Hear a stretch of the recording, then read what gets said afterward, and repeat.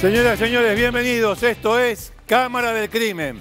Nos acompaña, como siempre, Miguel Mike Paradiso para mostrarnos con su talento un aspecto del tema, de uno de los temas que vamos a tratar en el día de la fecha. Eh, vamos a empezar sin más prólogo con un, un caso que puede mm, resumirse como un aprovechamiento criminal. ¿De quién? De, una, de un hombre hacia una chica. Hacia una chica, los dos en un colegio. Claro, con diferencia de poder. Una, una alumna y el denunciado, abusador, con un cargo más importante. Esta es la historia que va a abrir esta edición de Cámara de Crimen y tiene esta barrida. Vamos.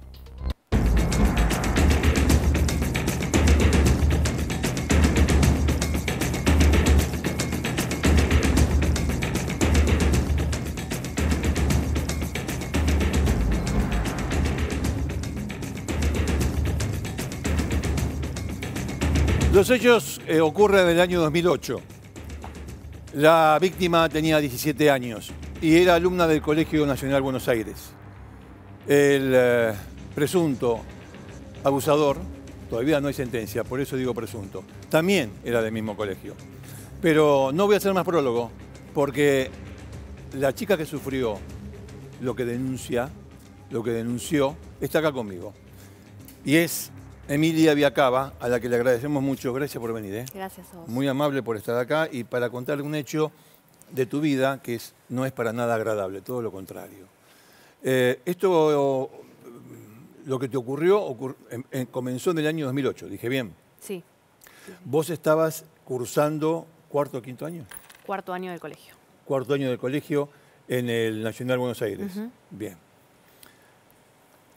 Eh, tenías conocimiento, conocías a un, vos describímelo, tutor, profesor, celador, ¿qué? Tutor, era el coordinador, tutor del viaje de estudios que hacíamos en cuarto año a Jujuy, a la provincia de Jujuy. Ajá. Y esto ocurrió, empezó en, en esa provincia, en un viaje de estudios. Lo que me vas a contar empezó en ese viaje de estudios en Jujuy. Pero no daba clase de ninguna naturaleza, no daba No, clase. él decía que era antropólogo y que trabajaba en la UBA, digamos, como nosotros somos colegios preuniversitarios de la UBA. Sí, sí, claro. Eh, Entran él- directamente, ¿no? Claro, no, digamos, eh, somos parte de, de la UBA. De la UBA, sí, sí, sí. sí, y sí, sí, sí. entonces, bueno, él decía que era parte de la UBA, que, que era antropólogo y que organizaba todo el viaje de estudios. Y esto desde hace más de 20 años que mm, se organiza con él. Digamos, es algo que viene dado. Básicamente, no es que, no es que, no es que se autoridades los- lo, lo- lo conocen, Todos, conocen todo lo que todos. hace. Lo, bueno, Sí, de hecho, no, no es que nosotros lo contratamos a él ni, ni nada por el estilo, es viene, con, viene con el viaje. Entiendo. o sea, y el es- tipo organiza. Organiza todo, es el referente principal del viaje, Bueno. tanto para el Colegio Nacional de Buenos Aires como para el Pellegrini. Ah, claro, los dos. Bueno, decime, en 2008 vos estabas en cuarto y se organiza el viaje. Sí. Bueno, un viaje a Jujuy, ¿cuánta- ¿cuántos alumnos van? Y más o menos éramos 100 porque eran tres divisiones. Ah, 100, ah, eran muchos. Sí, sí, Eran sí, muchos. tres El, divisiones. el objetivo del viaje este cuál era? Digamos, ¿Qué te decía era, era un viaje como, él nos- lo que nos ha dicho, de hecho él venía al colegio unos, unos- unas jornadas previas como para, para hacer unos, digamos, como organizar un poco el viaje y prepararnos un poco de lo que íbamos a hacer. Sí, sí. Eh, Y la idea del viaje era, bueno, el colegio te daba una semana para hacer este viaje y era tener como un contacto cultural con, con, otra, con otras culturas, con los pueblos originarios, Ah, digamos, él nos, ah, como que nos, nos llevaba mucho a ese, a, ese, a ese lado. Era un viaje antropológico, él lo llamaba así, porque era antropólogo y se, y se, trabajaba, eh, se trabajaba en esas temáticas. Ya me vas a decir lo que pasó allí en Jujuy. Sí. Pero ¿era antro- ¿es antropólogo? Eso no lo sé. Bien. Ahora ya Eh, no lo, no, digamos, dudo de todo, ¿no? Bueno, Y incluso dudo de del, del el rol que, te- ocupaban las instituciones o que ocupan. No, todavía lo, lo estoy dudando porque no todavía no se han comunicado conmigo y no me han dado como un como No, una información es- al es- respecto. Es extraño lo que decís, porque muy- como, como antes eh, comentabas que era una cuestión que venía dada, los alumnos que venían eh, ya lo encontraban todo esto. Eh, pero bueno, para que se entienda mejor, vamos a los hechos. Ustedes viajan a Jujuy. ¿Qué pasa en Jujuy? Bueno, en Jujuy, eh, en una de esas de las jornadas, una, una de las actividades era pernoctar en un refugio que es este. A ver, mostrame. Mostrame así, yo después demuestro la Sí, cámara. eso es, eso es lo una de las pruebas que presenté. O- A ver, eh, a la 2, voy a la 2. Bueno, Esta es una de las pruebas que presentaste Sí. cuando hiciste la denuncia, Sí. porque todo esto está denunciado. ¿eh? Sí. Ahora, decime una cosa, ¿cuánta gente entra acá adentro? Acá. No lo sé, pero digamos, o sea, no sé cuánta gente entra en el refugio, ¿decís? Sí, sí, claro. No, es un refugio abierto, digamos, Ah, se, es un se- ah, se ah, dormía afuera. Se dormía afuera. Sí, con bolsas de dormir y todo eso. Pero Bien, la bueno. realidad es que, bueno, estas fotos yo las tomé en mi viaje, en el viaje que hice ahora el primero de abril a Jujuy para denunciar esto. Yo, yo lo denuncié en Jujuy y en Buenos Aires. Tenés dos denuncias hechas, lo que ocurrió en Jujuy y lo que ocurrió en Buenos Aires. Y esto lo hiciste ahora para aportar un elemento. Sí, porque en realidad la primera vez que fui a declarar en Jujuy, que fue el primero de abril, digamos, la mayoría de la gente, nadie, hecho- de hecho, eh, conocía este lugar. Yo hablaba de un refugio. ¿Cómo se llama este lugar? ¿Dónde Se está? llama Refugio de Alfarcito. Nadie lo conocía cuando yo declaraba. Entonces, el, el martes 2 de abril, digamos, era Sí. feriado. Dije, bueno, yo voy a ir a buscarlo porque nadie lo conoce. Lo encontraste. Y lo encontré lo después de seis horas de caminata y de, y de dos indicaciones de dos personas que me crucé en el camino. No había No nadie. es fácil llegar hasta No ahí. es fácil, no. Bueno, ustedes en el año 2008 fueron. Digo Sí. ustedes, un montón de gente, Sí. eran chicos, muchos sí, chicos. Este, fueron allí. Y bueno, entonces, Bueno, él lo que hizo conmigo esa noche fue, nos sentó en ronda a todos, nos contaba historias de terror, cosas del diablo de Jujuy, digamos, ese tipo de cuestiones. Nos hizo hacer una meditación guiada, nos hacía cerrar los ojos a todos y él iba guiándote en una meditación, como él, él lo llamaba un viaje chamánico porque él decía que era un chamán. Y que Un tenía, chamán. sí, que tenía contacto con los ancestros originarios y demás, ¿no?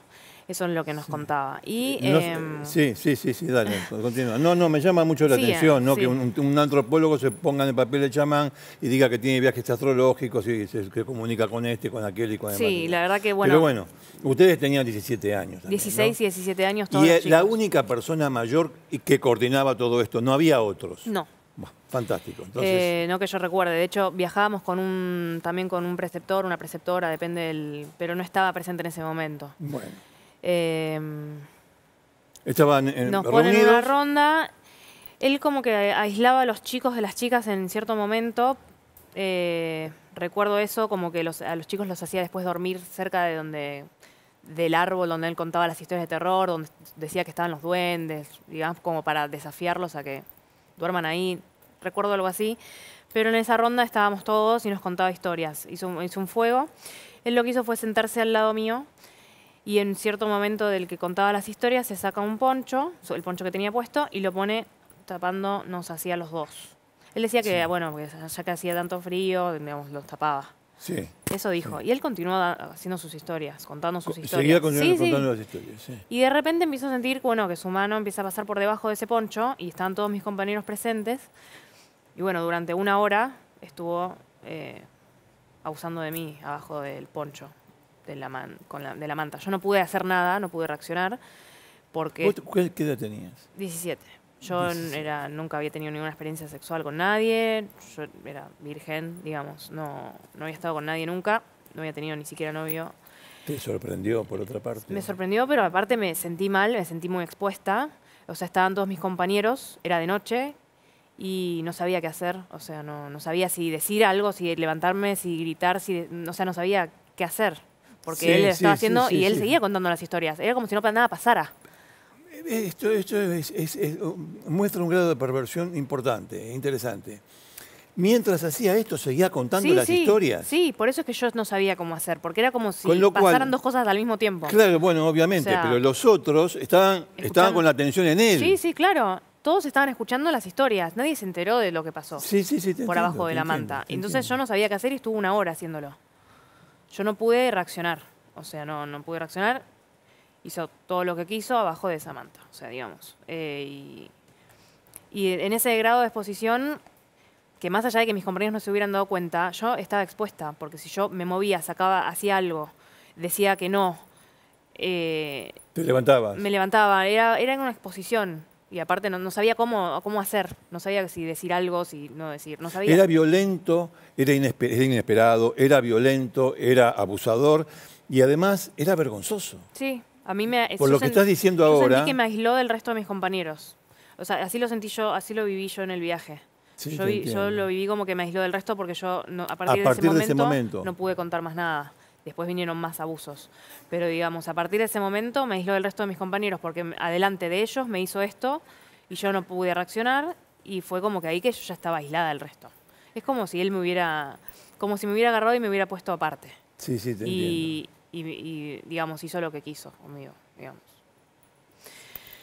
Eh, y, a- y ahí es cuando me di cuenta de que no podía hacer nada, porque, o sea, yo ya no podía contar con mis compañeros, no porque ellos no, no fueran capaces de, de- de ayudarme, sino porque no, yo ya no podía hacer nada. O sea, ¿Ella tenía una preferencia con vos anterior a esto? me- a este no- episodio. No, recuerdo, yo no, me acuerdo que él eh, me, daba Preferencia. el, me daba el sombrero, sí, era como que... Pero preferencia en el sentido de, este, qué sé yo, ¿vos eras, buena alumna? Sí, o sea, me interesaba a mí, yo ya quería estudiar antropología. Ah, ah, O sea, bueno, me- a eso me por eso a mí me refería. interesaba el viaje. O sea, Sí, sí, sí. lamentablemente terminó siendo muy feo para mí. No, pero. Y no solo el viaje, todo lo que vino después, digamos, relacionado al viaje. Porque para mí todo esto está relacionado al viaje. Todo empezó ahí. Ahí, eh, eh, eh, Ahí empezó de- todo. después, claro, en, en Jujuy pasa esta circunstancia que vos describiste. Eh, en Jujuy también hubo otras ocasiones en las que te abusó. Eh, esa ¿En misma ese noche, viaje? En esa misma noche, esa misma, esa noche era como la última. Entonces no, no hubo como más. Era la última noche y el día siguiente había como un día más. No recuerdo bien qué actividad hacíamos, pero recuerdo que me daba el sombrero. Eh, me acuerdo que me empezó a decir que me tenía que poner protector solar en las piernas, que si no me iba a, me iba a poner él. Eh, cosas así, como si no hubiera pasado nada la noche anterior. Recuerdo un otro juego raro que él hizo esa misma noche cuando yo me levanté, de- o sea, después me levanté, cuando todos se terminaron las historias, me Sí, levanté sí, y me sí. fui, o sea, me puse la bolsa a dormir bien lejos, no quería estar cerca de ahí.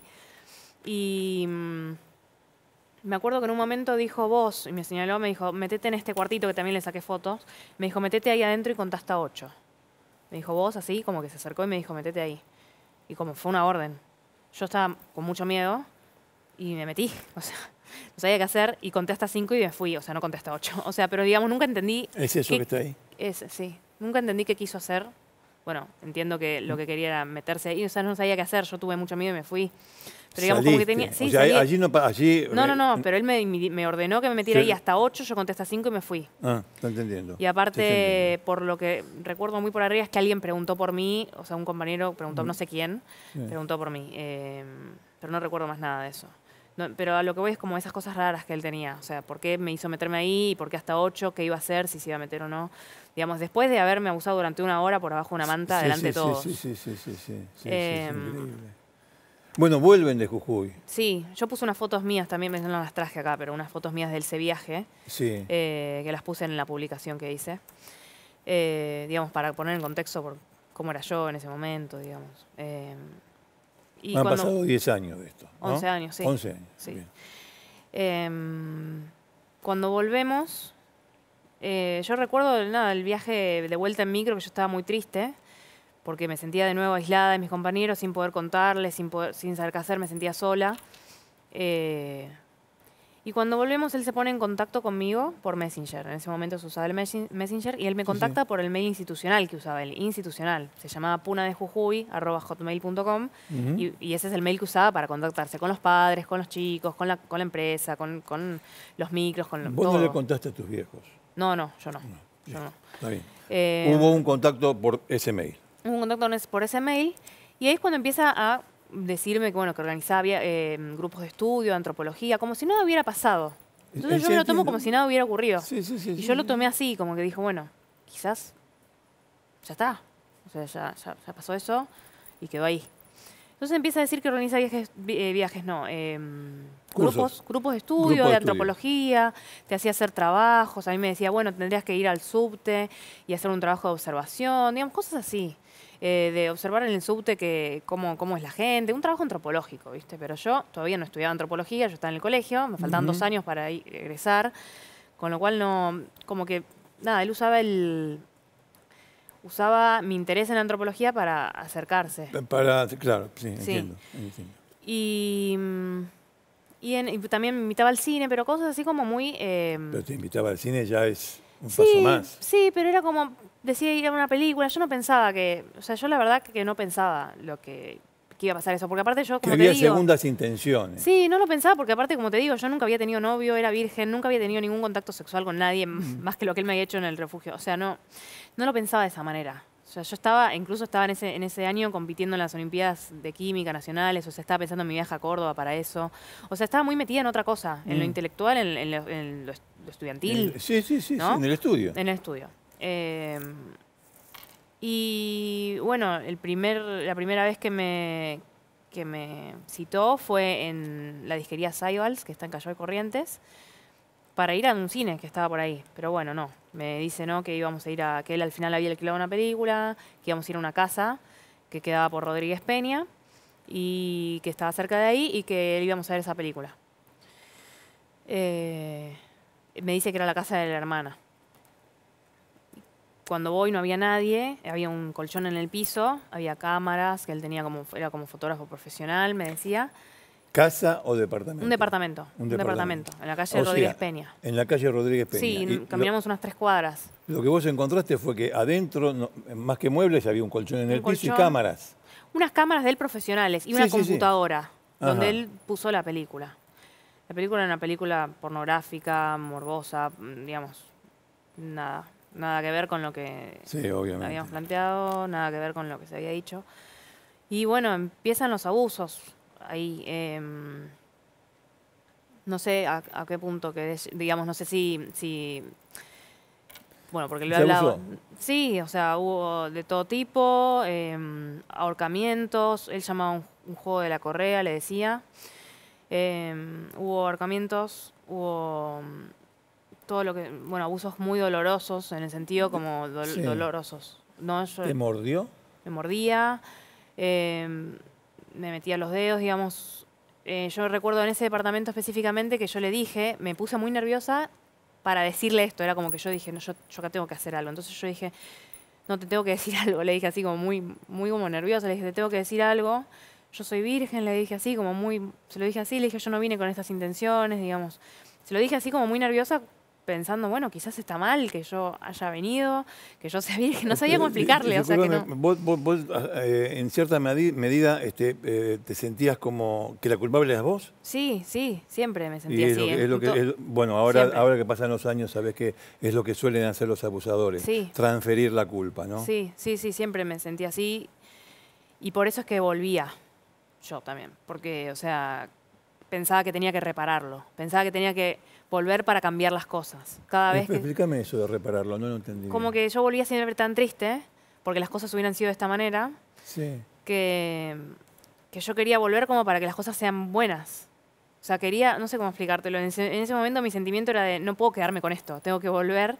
O sea, él me volvía a invitar a algo y yo decía, bueno, voy y que sea una charla, voy y que sea lo que él dice que es especial, que es una charla. Pero que eso es- no se, no se da para borrar lo que había pasado antes. Claro, quería borrar lo que había pasado antes. Es decir, es decir, a ver si yo te, yo te entiendo, Sí. porque es un tema muy, muy complicado desde el punto de vista psicológico. Sí, Vos querías volver para ll- llegar a una normalidad y que lo anterior quede sepultado. sí, de la misma manera que quise que quede sepultado lo del refugio. Claro, Bu- eh, Bueno, algo así. sí, sí, sí. O sea, en ese momento mi, Vos lo, lo hacías todo, todo esto, lo pensabas, lo vivías, sola. Sola, yo lloraba todas las noches, me acuerdo. O sea, ten- tenía mu- Lloraba todas las noches porque no, no sabía lo que me estaba pasando. Yo ese, bueno, digamos, de ese departamento de Rodríguez Peña volví un día con el vestido roto, porque me rompió el vestido. Era un vestido de jean negro, me acuerdo, que era... Nada, me lo rompió y yo volví a mi casa así, ensombrecida, con el vestido roto, triste, me había ahorcado, me había, me había hecho doler, me había mordido. Y aparte cuando yo le dije esto de que era virgen y que no había ido con ese... Porque aparte, yo lo digo porque a mí fue muy difícil decírselo, digamos, porque tenía miedo aparte yo. Entonces, digamos, ¿Le fue tenías como... miedo a él? Sí, le tenía miedo porque él como que no, no...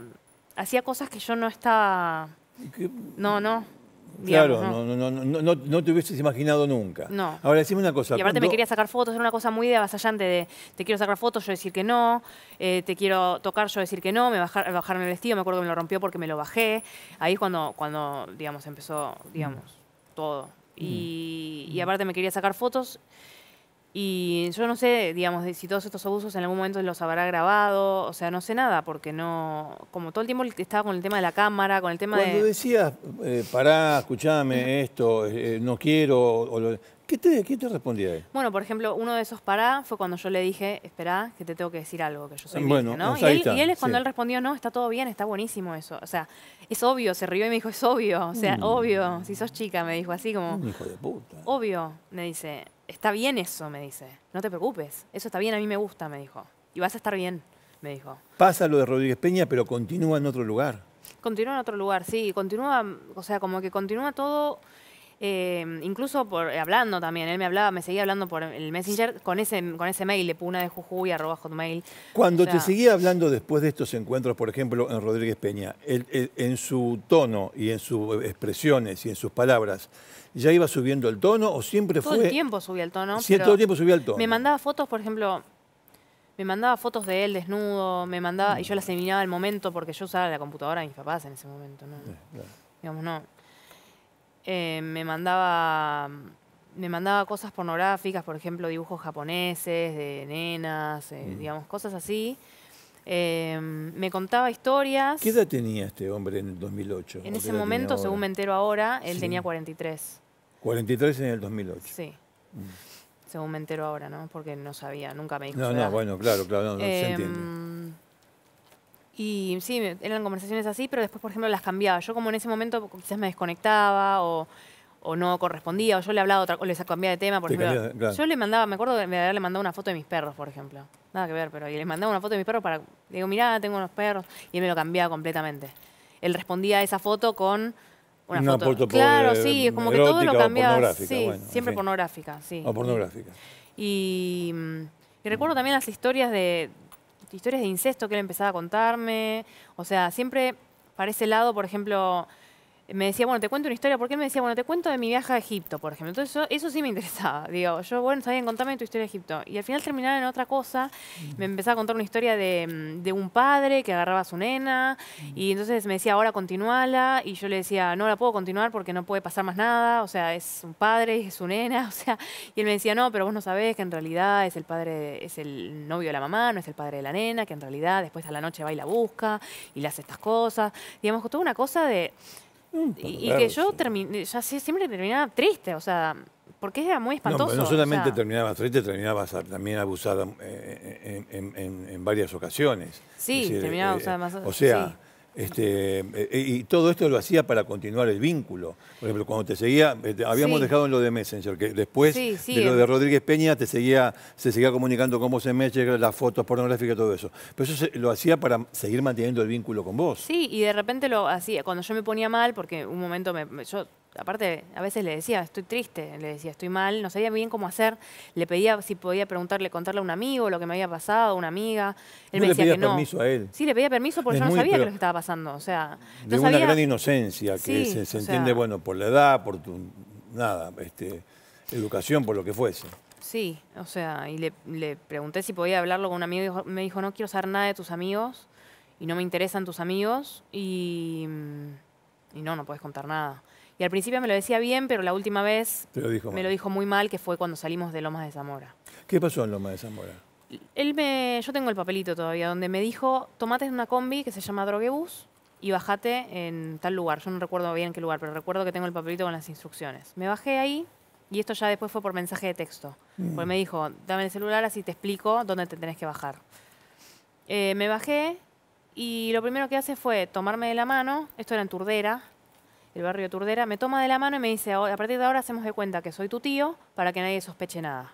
Claro, imagínate, yo era muy, o sea, yo era muy menudita, muy chiquitita, parecía muy chiquita, o sea, por las fotos te das cuenta. y él era un hombre muy grande. Em, y nada, me, me agarra la mano así y me dice, ahora para que nadie sospeche, hacemos de cuenta que soy tu tío. Yo no dije nada. Me agarra la mano, primero me lleva a una estación de servicio donde compra una botella grande de Coca-Cola. Eso es lo que recuerdo.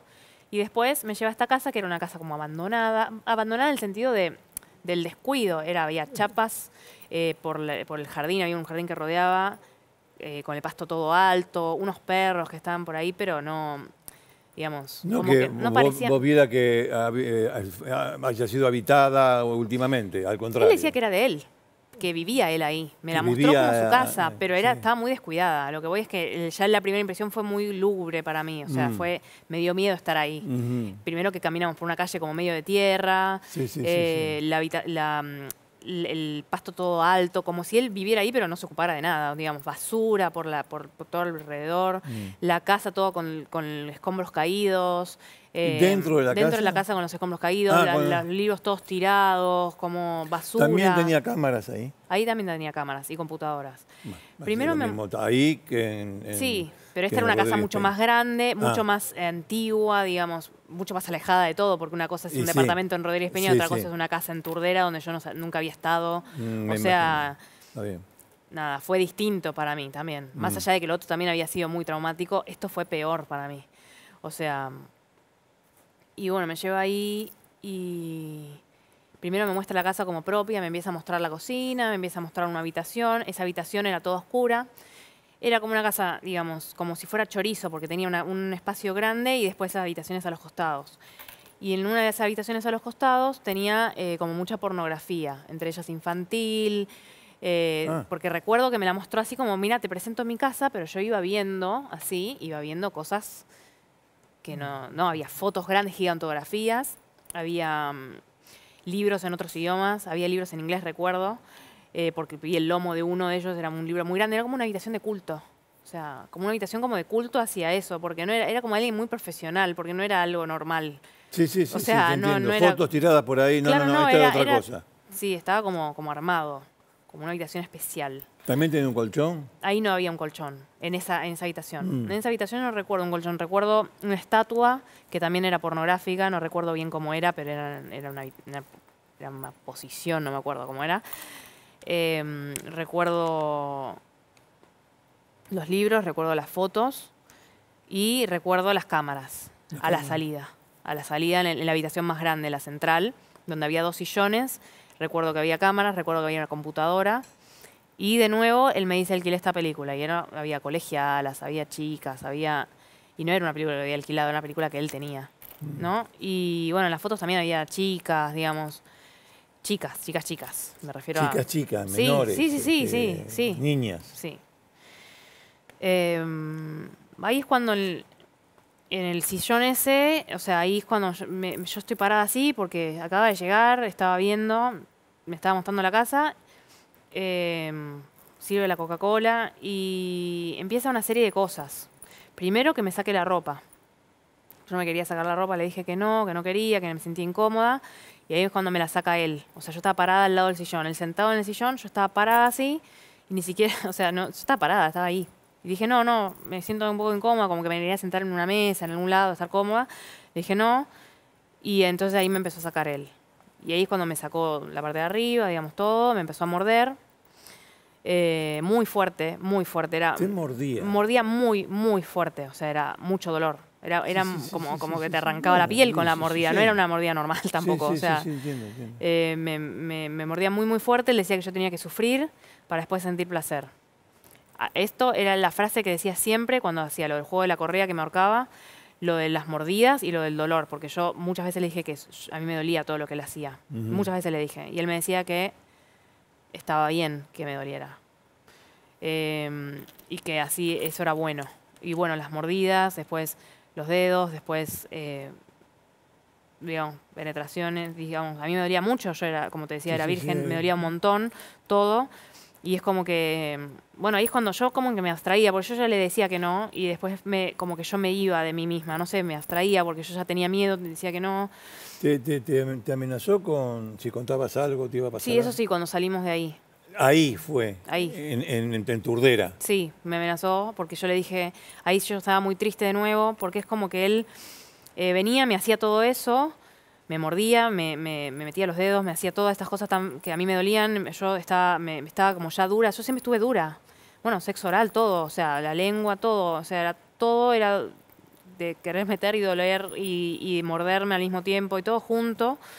Saliste como pudiste, se terminó en algún momento. Sí, porque él es como que terminaba y después era como que ya estaba. Era como Sí. que él terminaba y ya estaba. Sí, Era sí, como, sí, sí, sí, yo Además, me regaló un libro. Me regaló un libro. No, una- Sí, pero muy perverso también, porque más allá de que el, el libro es un libro común, ¿Qué conocido, libro? digamos, Las Vírgenes Suicidas, Me regaló ese libro diciéndome, sí. mira, es, es sobre chicas de tu edad, vírgenes que se suicidan, digamos, y me lo dio, y me lo regaló. Pero un O sea, reverendo. ¿por qué me regaló ese libro en ese momento, digamos? Así, ¿entendés? O sea, era todo muy, era una historia muy perversa todo. Ah, te- eh, te- tenía un gran dominio sobre vos. sí, O, sí, o- o mejor dicho, desde aquel episodio en Jujuy fue adquiriendo sí. cada vez mayor dominio sobre vos, este, hasta llegar a este punto. sí. Eh, en algún momento, no sé si hay más episodios de, de- de abuso, pero en algún momento esto se termina. Sí, cuando se termina es porque mm, él me dice que, no- bueno, le volví a preguntar si podía, si podía contarle a un amigo o a una amiga. Eso fue cuando salía de esa casa. Y yo De ya estaba, ya muy nerviosa, medio que temblaba y como que me sentía de nuevo triste porque era eso de nuevo. Mm. O sea, la frustración de...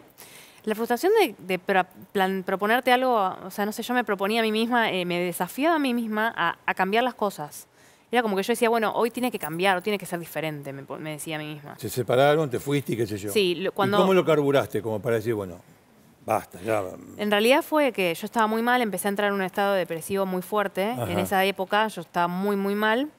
Todos esos, esos meses que duraron estas cosas. Sí, sí, sí, sí. Y entonces, eh, en realidad mis papás me mandan a una psicóloga, como sin saber lo que me pasaba. Sí. Y en- a esa psicóloga, que era la psicóloga simplemente de la admisión en el hospital italiano, fue. Yo le cuento muy por arriba esto que estaba pasando, pero muy por arriba diciéndole, mira, yo no puedo contar más que esto, le dije. Yo simplemente te digo que eh, hay un hombre muy grande que me estuvo viendo, no sé cómo no sabía cómo contarle, o sea, no sabía y le conté algunas cosas, porque aparte yo tenía secuelas físicas de esto, fuertes. Claro. Eh, digamos, sí, tenía secuelas físicas muy fuertes, em, desde dolores hasta sangrados y demás. Y entonces, entonces la, digamos, la psicóloga eh, y la médica, digamos, como que avisan a mis padres. Ahí es cuando mis padres se enteran. Eh, al enterarse mis papás es como que, bueno, se hizo toda una cosa en mi casa, todo un, un problema muy ¿Vos grande. hija única? No, Mm. no, tengo un hermano. Pero, digamos, como que en mi casa se armó toda una No, cuestión, y digamos, obvio, obvio, porque sí, me- me- claro, digamos, me- mis papás me dijeron, bueno, en este momento tenemos que hablar y me, se me sentaron y me dijeron, contanos todo lo que pasó. Yo me Claro. puse re mal, no quise contar nada. Y, eh, porque aparte yo estaba como en pánico, porque no quería que mis compañeros se enteraran. Si mis papás hacían una denuncia, se iban a enterar en mi colegio, no sabía qué hacer. Tenía mucho pánico y vergüenza y humillación. Y me acuerdo de estar sentada en el sillón con mis papás y que mis papás, y yo no, estar llorando y decir no quiero hablar, no quiero hablar, no quiero hablar. Y no quiero que hagan nada porque tenía mucho miedo de que en el colegio eh, se, digamos, se contara, de, no sé, que se contara de otra manera, que corri- no sé, no sabía cómo se reaccionaba frente a eso. No es como ahora, digamos.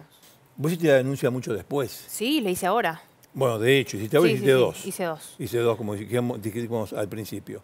Eh, dos. Este, pero de- en todo este tiempo, ¿qué pasó? Y en todo este tiempo Yo no te quiero. No, yo te cuento, la pasé muy mal, no- quiero cargarte más. No, no, no.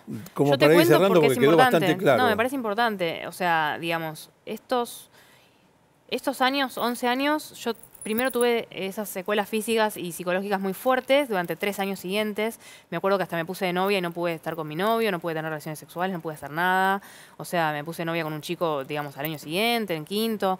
Recuerdo, recuerdo eso, recuerdo esas secuelas físicas, recuerdo mucho lo emocional o lo, psicológico, que yo tuve tres años de depresión muy fuerte en ese momento, de ataques de pánico, eh, y después que los seguí teniendo a lo largo de estos años.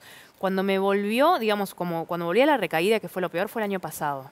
O sea, yo, Ajá. porque empecé a reconstruir todo esto eh, a, Y como princi- que a fue- principios del año pasado. Que caíste, fuiste cayendo. Sí, a lo largo de los años fui cayendo. Bueno, a lo largo de los años, Pero era no- no como fue que yo lo momento. trataba de negar, o sea, lo trataba de negar y después volvía a caer en la depresión, volvía a caer en, la, en el pánico. Sí, sí, y entiendo. entonces el año pasado fue como que fue como el- la, la culminación. sí, o sea, sí, fue como sí. el momento eh, culmine, eh, que fue el peor, porque ahí fue cuando decidí eh, hacer la denuncia, yo entré en un estado muy mal, muy malo, digamos, eh, me quise morir, o sea, estuve en la guardia del hospital italiano y ahí estaba como en las últimas y yo dije, bueno, yo no ¿Qué puedo te- seguir, me quise morir. ¿Querés, contar qué te hiciste? no me hice nada, me quise, me quise, me quise matar. O sea, pero porque no podía más. Estaba, estaba, tenía, Tenías ese deseo. ese deseo. O sea, estuve en la guardia del hospital porque estaba ya en las últimas. O sea, no sabía ya qué hacer porque estaba sola en esto. O sea, ahora todo cambió porque ahora de repente veo que no fui la única. O sea, pero Este tipo se lo hizo a otras. sí, y ahora me doy cuenta. Chicas. Pero digamos, cuando yo iba a hacer la denuncia, Todo, todo este año estuve pensando cómo hacer la denuncia y esto me llevó al, al estado más último de mí de no querer vivir porque no sabía cómo llevar adelante todo esto. No sabía, me daba miedo y hasta ir a declarar. Yo tenía, lo, hiciste. lo hice. Yo tuve pánico hasta el día anterior de ir a declarar. hasta el día anterior de declarar tenías un pánico, sí. Pánico. Pero, pero Seis horas quiero, quiero saber esto. Eh, llegaste hasta este punto, tuviste pánico hasta el día antes de declarar. En, cuando llega ese momento o, en, o en esa circunstancia, ¿alguien te ayuda? Sí, mi mamá. Entonces eh, quería llegar a ese punto. Sí, mi mamá desde, el, desde, el, momento que vos le contaste a ellos y no querías, mejor dicho, no le contaste, llorabas y ellos, se, enteraron. Pasaron muchos años, mucho tiempo. La relación con tus padres se deterioró, no se eh, evidentemente con lo que me de, acabas de contar, con tu mamá no. Con mi mamá no. Tu papá un poco más y con mi papá fue más difícil para mí. No, no ah, porque, o sea, para mí, no porque él no estuviera o no que él quisiera, sino porque para mí fue muy difícil porque y bueno, era, obviamente. no, yo te entiendo. Y entonces ah. durante años no se habló en mi casa. No, se, habló del tema. no se habló más del tema durante muchos años, hasta el año pasado. Ahora que ya lo hiciste, sí.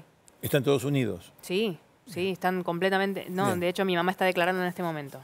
No me digas. Mi mamá en este momento está en la fiscalía declarando porque la citaron a ella. Y mi mamá, si yo no hubiera contado con el apoyo de mi mamá, no hubiera podido hacer La última pregunta que te voy a hacer sobre este eh, asunto. Eh, ¿Qué sabes hoy de este tipo? Lo que sé hoy es que em, estuvo trabajando hasta el año pasado en el colegio. El colegio, bien, gracias, entre paréntesis. Sí, el colegio me lo que me ayudó el, colegio fue el año pasado. Ah. Eh, que yo la primera, la primera denuncia que hice fue en la, en la, oficina de violencia de género. Fue el primer lugar al que me acerqué. Sí. La oficina de violencia de género del colegio, que en ese momento no estaba, ahora está. Entonces yo fui ahí. Ahí me ayudaron mucho, me dijeron, me, recomendaron que vaya a la UFEM, a hacer la denuncia, fui a la UFEM, declaré seis horas, después viajé a Jujuy, digamos. Y hiciste, todo reconstruiste lo que me, estuviste contando, sí. Em, lo que sí, el colegio no, o sea, me ha ayudado en ese sentido la psicóloga y la abogada que trabajan en la oficina de mm. violencia de género. Ahora, el resto, no. no. No tengo noticias y yo quiero saber, o sea, yo lo que quiero es saber qué tipo de contratación tenía esta persona con los colegios, porque muchos dicen, no, pero fue una empresa, no, porque esto desde hace 20 años y en ese momento no existía, esta empresa no trabajaba con los viajes, y aparte, yo sé que él eh, forma parte de la UBA y que él recibía financiación de la UBA, entonces yo quiero saber que alguien me explique por qué viajábamos con esta persona. ¿No? Y, Esto yo supongo que va a surgir en el curso de... Sí, sí, yo estoy esperando, digamos, eso. Eh, a, las autoridades de la UBA, las autoridades Nacional de Buenos Aires, bueno, este, esto pasa, eh, uno puede, tiene que pensar que es difícil que alguno no, no, supiera. Este, viajes de conocimiento chamánico, antropológico, Así no se hace, es para otra cosa. Pero bueno. Me gustaría eh, agregar algo más. Dale, dale, dale, eh, dale, dale, dale, Me gustaría agregar que todo esto yo lo hice por, para ayudar a otras víctimas y para que no vuelva a pasar.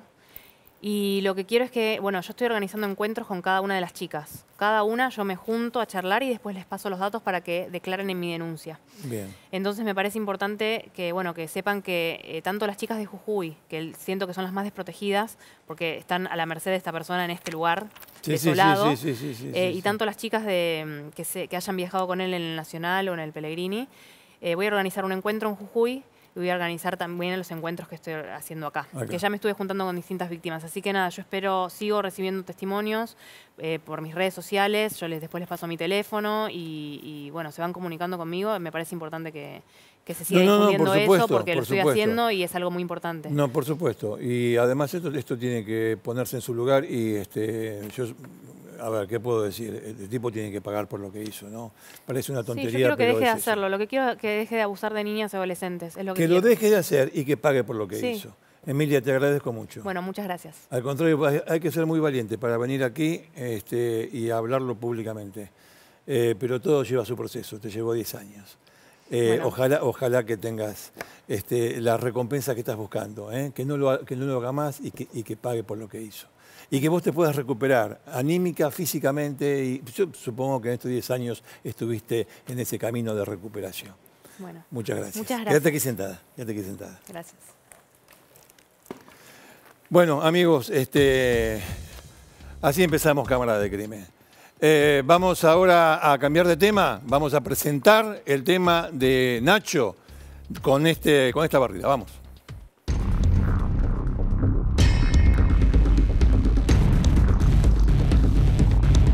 Bien, eh, el tema de Ignacio González Prieto tiene que ver con un hecho también aberrante, aberrante que se produce por una circunstancia de la vida cotidiana. Nacho, vení. Circunstancia de la vida cotidiana. Hola, Ricardo. ¿Qué haces? Qué caso, terrible. ¿El de recién? Sí. Sí. No, terrible. Realmente sí. Y lo que Bueno, vamos a- ojalá, ojalá podamos ayudar a esta chica. Sí, la vamos a ayudar. Eh, Contame. este caso de. Rosario, Ricardo, me parece que es un caso donde se unen varias situaciones que venimos eh, contando en los últimos tiempos y habla de cómo está la sociedad y la violencia que tenemos en las calles. En Rosario, ahí vemos a la víctima, Soledad Sotelo, 32 años. Hace 15 años que lo conoce a Manuel, a su marido. Sí. Y hace 13 años que están casados, eh, un nenito de 5 y de 7 años. Y dentro de la habitualidad, que es lo que vos planteabas, de, de su vida cotidiana, deciden ayudar a los papás. Ir a pintarles el frente de la casa. Ahí en la calle Alcina al 2800, el jueves 18 de abril. Es decir, hace una semana nada más. Están pintando el frente de la casa, disfrutando en familia, se pasa el día. Cuando empiezan a juntar las cosas, y Manuel y Soledad habían acordado ir a la casa, él iba a bañar a los chicos, ella iba a hacer la comida, pasa una moto a toda velocidad haciendo Willy, se genera un incidente porque la moto le pasa muy cerca y casi los lastima. Claro, sí, sí. sí. Soledad se enoja, Sí. se genera una discusión con el que manejaba la moto No, sí. que se detuvo ahí nomás. Ahí nomás se Sí. detuvo en una casa vecina. Sí, sí, sí. Este personaje que iba en la moto, que es un adolescente barra niño, Mm. ahí lo estamos viendo, Mhm. tiene 16 años. 16 años. 16 El que venía haciendo Willy con la moto. y Venía con la moto a toda velocidad. A toda velocidad, molestando a los vecinos. sí. Es decir, si lo vamos desde el punto de vista penal, no es inimputable porque tiene 16, pero entra en el régimen penal juvenil 16, 17 años. Exactamente, sí. Vuelve caminando, Ricardo, vuelve caminando Sí. y adelante del marido y de los hijos y del resto de la familia, la asesina y le da un tiro en la cabeza. Oh. Se va del lugar, se fuga. Lógicamente a ella la trasladan de urgencia al hospital Clemente Álvarez, muere y a partir de ahí Manuel con el resto de la familia, los vecinos, empiezan a pedir justicia. Con algo muy importante para la investigación. Manuel dice, yo a este tipo lo tengo cara a cara y lo reconozco. Claro, hay también una. Durante todos estos días en Rosario, por eso estamos tratando el, el tema aquí en Cámara del Crimen, hubo movilizaciones Claro, a los claro. tribunales, a las comisarías, a la fiscalía, donde todo el mundo pidió justicia y en las últimas horas hubo una marcha muy importante. Y pasó algo, Ricardo. Detuvieron el lunes a Valentín Francisco, un joven de 19 años, Sí. que es el hijo de la dueña de la casa de la esquina Donde este donde se paró. este se fue a esconder. Ah, se fue a esconder. Al, al que detienen, el primer detenido de la causa, lo mete preso la fiscal Marisol Fabro, de la Unidad de Homicidios Dolosos, y la jueza Silvia Castelli lo deja libre, aunque le imputa el encubrimiento agravado, que es el artículo 277 del Código, que tiene una pena de 1 a 6 años de prisión, y el falso testimonio, que tiene eh, una pena de 1 a 3 años de prisión. Es decir, no lo podés tener preso, porque Sí. si el delito no supera los 6 años, lo tenés que dejar en libertad. Decime una cosa, estamos hablando del hijo de la dueña, La dueña de la de la casa donde casa este se fue a esconder, que tiene 19 años. No estamos hablando del asesino. No estamos del hablando del asesino. Bien. Lo meten preso. La mamá de Soledad le hace una carta a la vecina diciéndole que no tiene códigos, que no tiene dignidad, que no tiene corazón, Sí. que no tiene nada, porque cuando ella va y le pregunta, ¿sabés quién es el que se escondió en tu casa? No, yo no sé, le contesta la mujer. Ah, ya entiendo. sí. Esto generó una gran movilización en Rosario y ahora en las últimas horas pasó esto. Detuvieron a este personaje. ¿Quién Este es? personaje sería el asesino. de Soledad. El pibe de 16 años. El pibe de 16 años. En ¿Por qué me decís sería? Porque hay un dato muy importante. En Rivero y Pasaje 1878, la unidad regional de la policía, Sí. la regional 2 de Santa Fe, entra con la fiscal al lugar. Sí. En- porque habían recibido durante todo el día llamados al 911, que este joven andaba dando vueltas en el barrio y que era el asesino de Soledad. Eh, lo terminan deteniendo y le encuentran dos armas. Una que nosotros tenemos la fotografía, que es una carabina calibre 350 con sistema Mauser, calibre 7.65.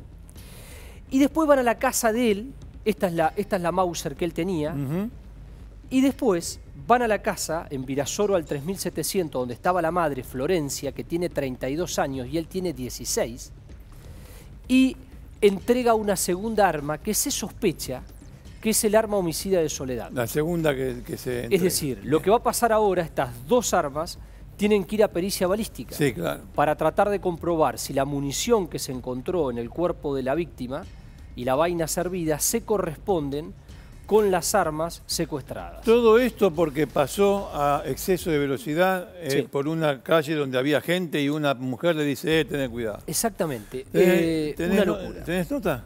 Y vamos a escuchar a la familia, porque aquí hay un protagonista que es Manuel, que es el esposo de Soledad, Claro. el padre de sus hijos, Claro. que fue el que hizo el reclamo y el que pidió justamente que esto se resuelva. Miren lo que nos decía. Estaba yo, estaba mi mujer y estaban mis dos nenes. Teníamos la moto ahí para ya irnos. A lo cual se baja Milton, saca el arma de la cintura y me dice, vení la c de tu madre, vení. Mi mujer agarra y nos mete adentro a mí y a mi hijo. Y este hijo de p abrió fuego, disparó dos veces. Ahora, Y mi mujer cae al piso y mi hijo estaban ahí mirando. Y pedían por su mamá. Ahora el 28 de abril íbamos a cumplir 13 años. 15 años que nos conocemos. Sole era lo mejor de mi vida. Era compañera. Era empujaba siempre para adelante. Era una persona excepcional que siempre daba una mano al que lo necesitaba. Siempre estaba ahí. Siempre tiene una palabra de aliento. Siempre ayuda. Ella siempre estaba, compañera. Me van con los momentos malos, los momentos buenos. Luchamos mucho para formar nuestra familia. Cinco años buscando alma. Cinco años de tratamiento, pastillas para que podamos formar nuestra familia. Veces vinimos acá para acá, a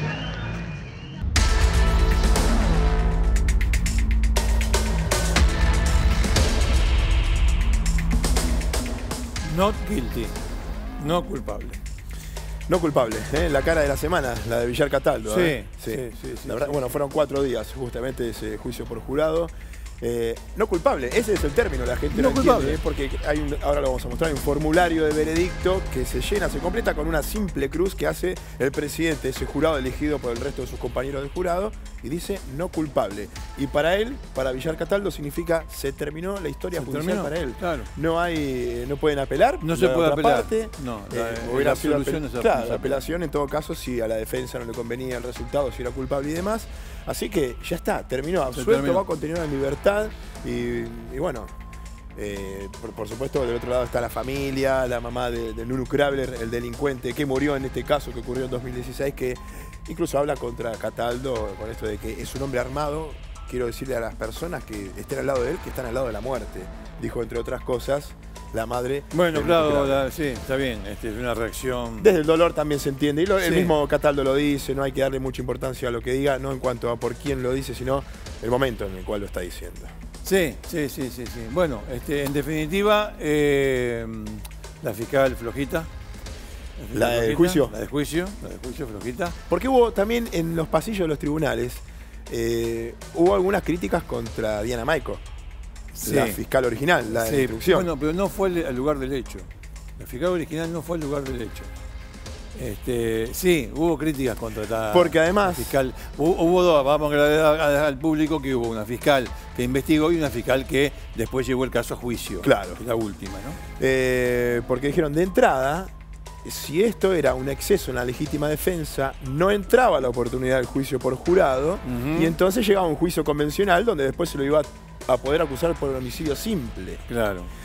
Claro, pero como de entrada fueron por todo, fueron por el homicidio simple agravado por el uso de arma de fuego, juicio Entonces, por jurado, dice la defensa. El- el- el- claro, Cataldo eligió. y el no juicio por solo que obtuvo la opción, eh, la que más lo favorece, o sea, sacó de entrada eh, el homicidio simple, la jueza, la fiscal del juicio, La fiscal del juicio lo sacó, fue por claro. el, homicidio, el homicidio en exceso, en En la exceso de legítima defensa. defensa que tiene una pena ma- ma- Claro, chica. con lo cual en ese momento, obviamente todos los que estábamos ahí en, en la audiencia, eh, esperábamos, eh, veíamos que estaba afilada eh, contra Cataldo, pero después esta- estaba afilada contra los testigos que pueden llegar a ser los cómplices, todavía no se va a saber nunca eso en Eso realidad. no se va a saber nunca. Ah, hubo dos personas que declararon Sí. que tal vez, tal vez mm, tuvieron una relación con el hecho más cercana a la que ellos dijeron. Pero Ellos bueno, no se puede. Ellos reconocen haber estado ahí, ¿eh? Reconocen haber estado ahí. Estar sí. caminando con Sí, un Crable. Exactamente, sí. Y después hizo unos pasos él y no sé qué hizo y escuchamos unos tiros y salieron Claro, como que se le tiraron todo el, el, corriendo. a, quien murió. Al muerto, claro. Este, sí, son cuestiones de,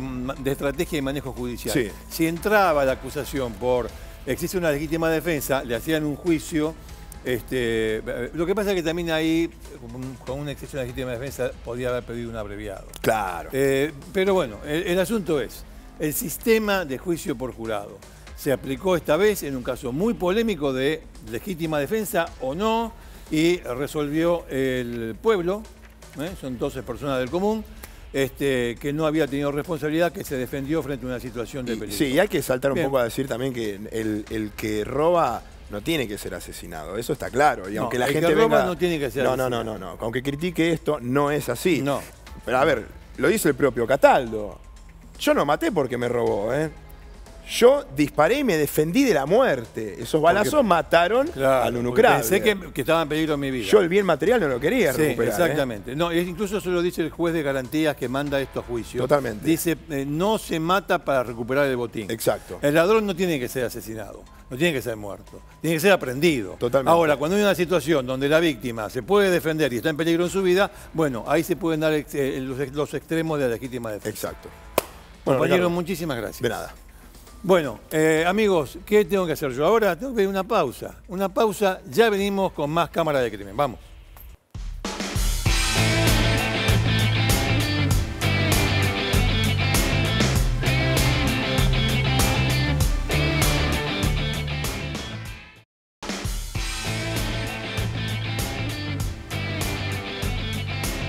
Bueno, parte final de Cámara de Crimen. eh, acá tenemos en el wall, este, me hago el chivo, 12 de mayo, el domingo 12 de mayo a las 18 horas en la Feria del Libro de la Ciudad de Buenos Aires. Voy a presentar crímenes sorprendentes de la clase alta argentina.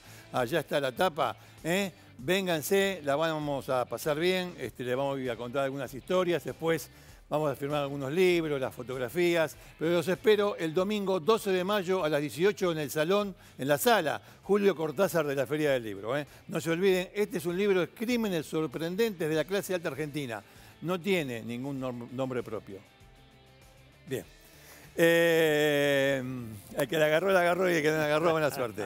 Este, les quería decir también una cosa, porque una saludada a Miguel, que estaba haciendo el boceto de lo que iba a ser la historia del sillón, que la vamos a, contar la semana que viene. Lo que pasa es que no lo hacemos ahora porque mm, eh, entendemos que la entrevista que abrió Cámara de Crimen es lo suficientemente importante, interesante, rica, eh, como para no editarla y que ustedes la puedan ver en toda su extensión. Eso nos ha quitado un, un poquito de tiempo como para contar la historia del sillón, pero la historia del sillón no se va. Eh, La semana que viene eh, con Miguel este, vamos a, contarla y a completar el boceto. Exacto. Miguel, gracias de todas formas. No, ¿eh? por favor. Bueno, señores, nos vamos. Nos vamos ahora sí. ¿Qué tengo que decir? Mm, Dobbiamo parlare in italiano? Eh? Par- parliamo in italiano. Ci vediamo fra una settimana. Arrivederci.